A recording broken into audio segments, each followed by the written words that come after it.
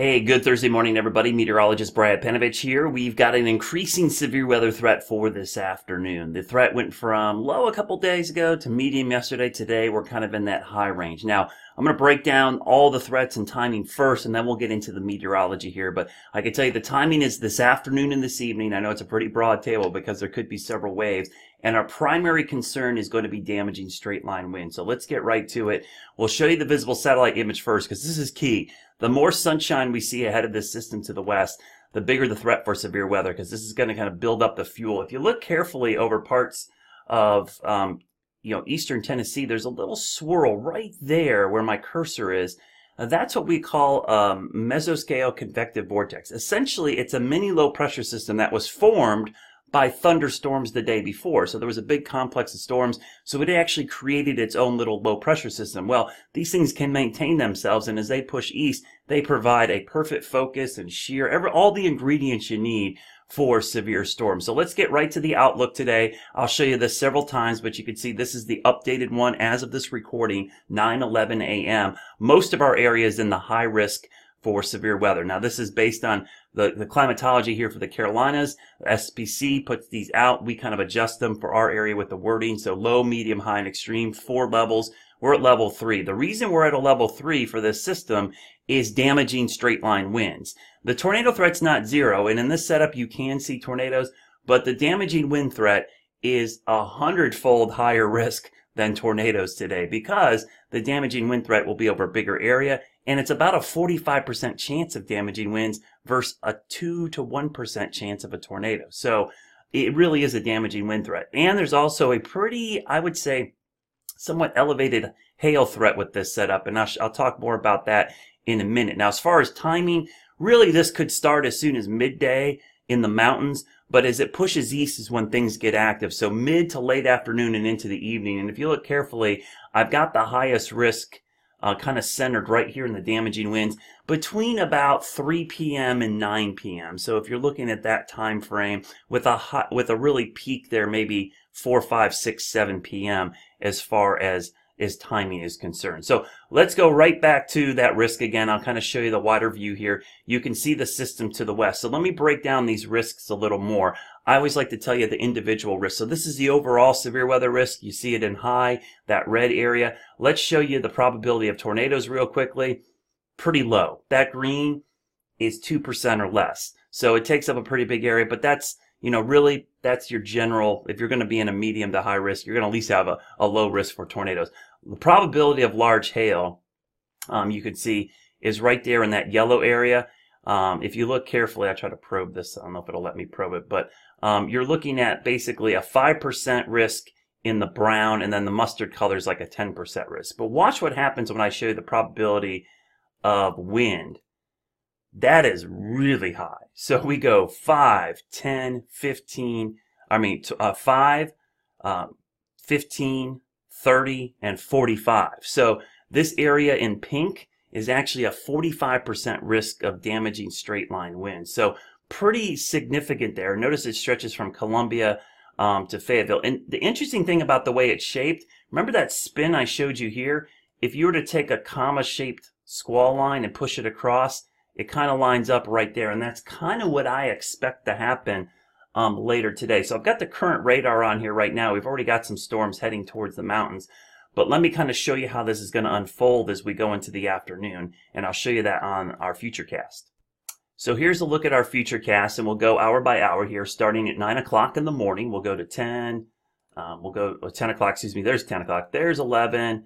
There's 12. So this is midday. We go to 1 o'clock. Okay, 1 o'clock, things start to get a little interesting. We start to see storms developing back to the west um, right around 1 o'clock. We'll go to 2 o'clock. Look at the lines forming to the west. We'll go to 3 o'clock, and then we'll go to 4 o'clock. And here's where I think this is why I had the peak of the severe weather right in that evening hours. Now, not everybody this is going to see rain. This is one of those situations where storms like this are still scattered. The problem is, even though they're scattered, there's a really high chance the ones you see are going to be severe. So there is a chance you could get missed on this completely, but just know if you see a storm today, the chances of it being severe are pretty high right now, especially damaging winds. And just looking at the shape of these, if you look them, um, the fact that they're like bow echoes, and what I mean by bow echoes, you see this shape. I'm going to draw it over here.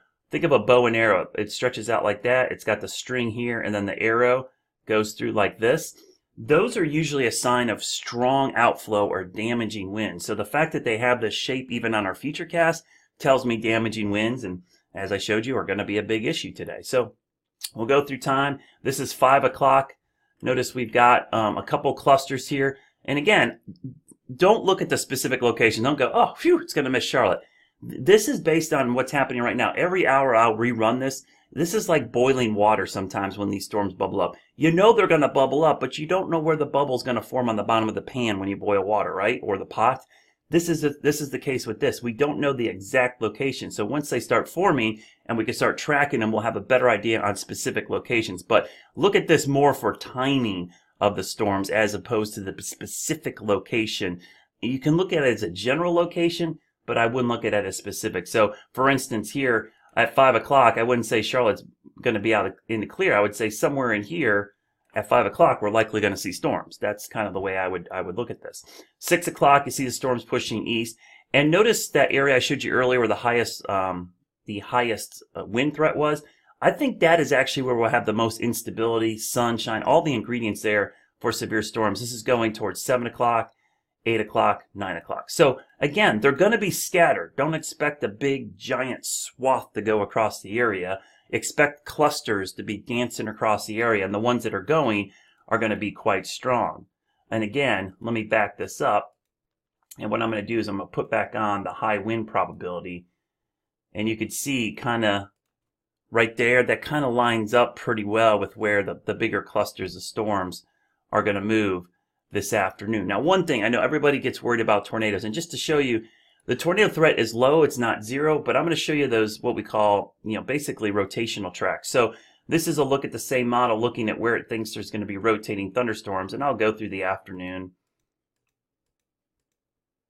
And there's one little area down here where there might be some rotation and maybe up here, but overall, that's pretty puny rotational tracks. That's not a really strong signature uh, for tornadoes. If we get a tornado, it's going to be because um, we get a quick spin up and embedded, excuse, embedded in one of these lines um, as it pushes through the area. So, you know, what's more likely is when we get squiggles in the line, and when I say squiggles is sometimes these lines can have little kinks in them, and sometimes where the kinks form, you can get a spin up. So, uh, the tornado threat overall is not zero, but as I mentioned earlier, the bigger issue here is going to be damaging straight line winds of 58 miles per hour or higher. And again, that probability is around 45%. So if, uh, if, if we see, you know, a 60% chance of storms today or 50% chance, which is about what I think the coverage is going to be, 45% of those could have damaging winds. So that's, that's a good chunk of those. So if you see a storm today, just plan on the potential for it